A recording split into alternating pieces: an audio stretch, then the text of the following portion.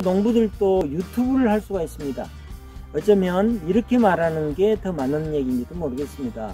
농부들도 꼭 유튜브를 해야 됩니다. 유튜브를 해야 되는 이유는 꼭 유튜브만 해야 되는 건 아니에요. 그게 정답은 아닌데 SNS를 해야 되는 이유가 뭐냐면 어, 나를 내가 농사를 아주 정직하게 잘 진다고 해도 아는 사람이 있어야 될거 아니야.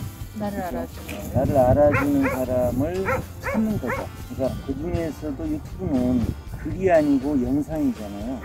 그러다 보니까 그 전달력이 훨씬 이렇게 푸른 낯 쌓고 농사일 바빠 죽겠는데 언제 유튜브 하냐고요? 아, 농사일 하시는 짬짬이 하세요. 그리고 농사일 하다 힘드시잖아요. 그러면 이렇게 유튜브 하시면 되잖아요. 잠깐 쉬면서. 예. 아, 유튜브는 농사일 짬짬이 하세요. 그러면 농사일은 또 언제 하냐고요? 유튜브 하나 짬짬이 하시면 되죠. 농사일도 어, 짬짬이, 유튜브도 짬짬이, 짬짬이 하시면 됩니다.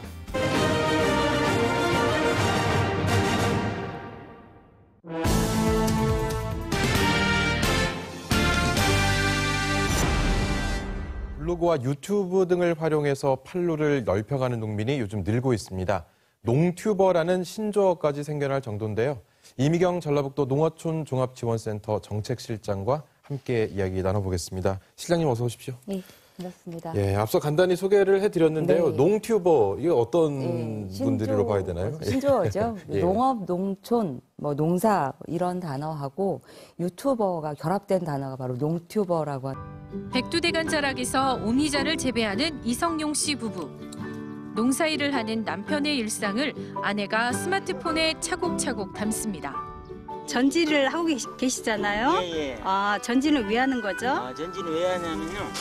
이게 말하자면 오미자 나무도 새가 있거든요. 그 수새를 잡아주는 건데 대기업에서 소프트웨어 만드는 일을 했던 이 씨.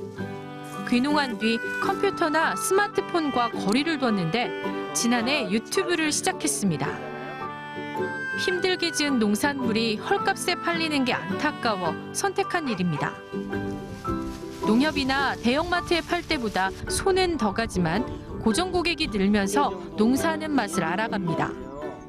직거래를 안 하면 이, 이 경쟁에서 굉장히 어렵거든요. 가격을 묻지 않고, 그러니까 내 어떤 진심을 알아주는 그런 그 이웃들을 어, 찾을 수 있는 유튜브 방송에 관심은 있지만 경험이 없어 망설이는 농민을 위해 따로 교육 영상도 만들어 공유하고 있습니다. 어, SNS나 동영상 편집 그리고 유튜브 관련된 지식들 이런 것들을 어, 이쪽에다가 올려서 어, 우리 저 농부들도 이제는 진짜 유튜브를 어, 진짜 어, 잘해볼 수 있는 SNS를 활용해 농업, 농촌을 소재로 1인 방송을 하는 이른바 농튜버들은 전국적으로 70만 명 정도. 예 방송 장비가 없는데 어떻게 하냐고요? 어, 또 PC가 없는데 어떻게 하냐고요? 예, 걱정 마세요. 아, 지금 이 동영상 찍고 있는 이 핸드폰 하나만 있으면 충분합니다. 아, 여러분도 핸드폰은 다 갖고 계시잖아요. 돈 따로 들이지 마세요. 어, 핸드폰만 가지고도 유튜브 충분히 할 수 있습니다. 과수원을 운영하는 이은주 씨. 올해 배농사를 시작하는 모습을 스마트폰으로 촬영하느라 분주합니다. 이벤트가 있어서가 아니라 주기적으로 계속 올리니까 정기적으로 이렇게 슬쩍 지나가시는 분도 아 이 집에 또 사과를 땄네 아 이 집에 매력점 사과를 또 이벤트 하네 뭐 해서 계속 이렇게 손님들이 이어지는 게 아닌가 싶어요. 보통은 한 4월 중순까지 판매를 계속 하는데 조금 빨리 떨어진 것이 아마 이게 스마트폰의 힘이 아닐까. 농업 농촌에 새로운 소득원을 만들어가며 침체된 농가에 활력을 불어넣을 수 있을지 주목됩니다. 드세요. KBS 뉴스 이수진입니다.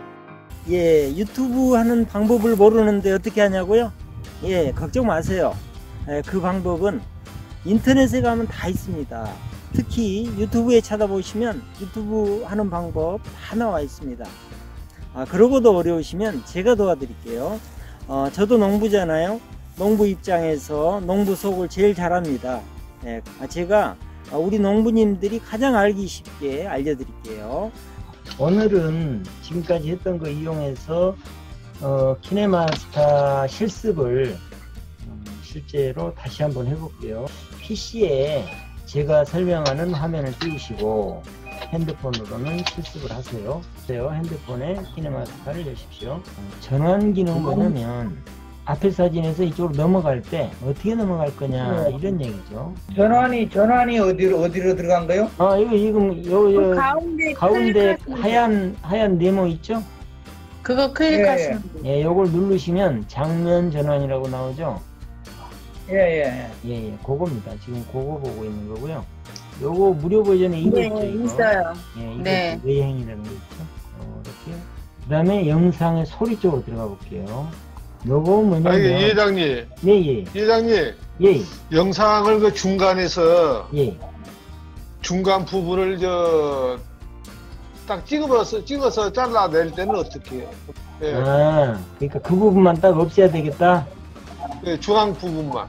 중앙 부분만 예, 그, 그 기능을 다시 한번 설명을 드리면 저는 이제 이렇게 합니다. 영상을 플레이를 해요. 이렇게 플레이를 하다가 어 여기 여기서부터 잘라야 되겠어 하면 그러면 가운데 그 전환, 전환 부분은 어떻게 없인데요? 그냥 두면 돼요. 없음이니까 현재 이렇게 그냥 두시면 장면 전환 효과가 현재 없잖아요. 아, 네, 저, 그냥 둬버리면. 된다. 그대로, 그냥 그대로 이어져요. 예, 화면이. 그럼요, 그럼요, 그럼요. 그래서 장면 아, 예. 효과를 넣- 이건 굉장히 중요합니다. 저희들이 온라인으로 공부했던 내용들을 유튜브에 에, 올려드리겠습니다. 예, 아주 쉽게 알 수 있도록 올려드릴 테니까요. 저희 농부 TV에 오시면 되겠습니다. 예, 농부 TV에서 뵙겠습니다.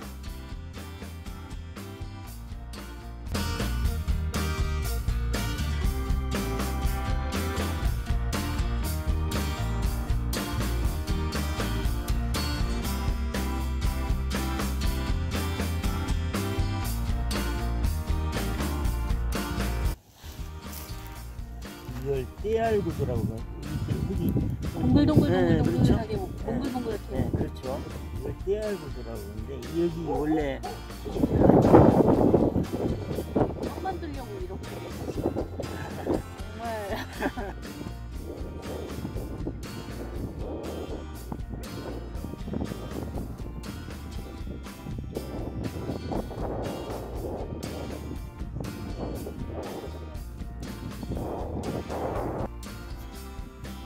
여기 있네. 오 예. 세상에서 꼭 해야 될 것도 많고 중요한 것도 많습니다. 근데 아, 요즘 세상이 코로나19로 굉장히 어려운데요. 가장 중요한 건 역시나 건강인 것 같습니다. 아, 여러분 건강하셔야 됩니다. 아, 건강이 제일 중요합니다. 여러분들 건강하세요. 맞습니다. 건강하세요.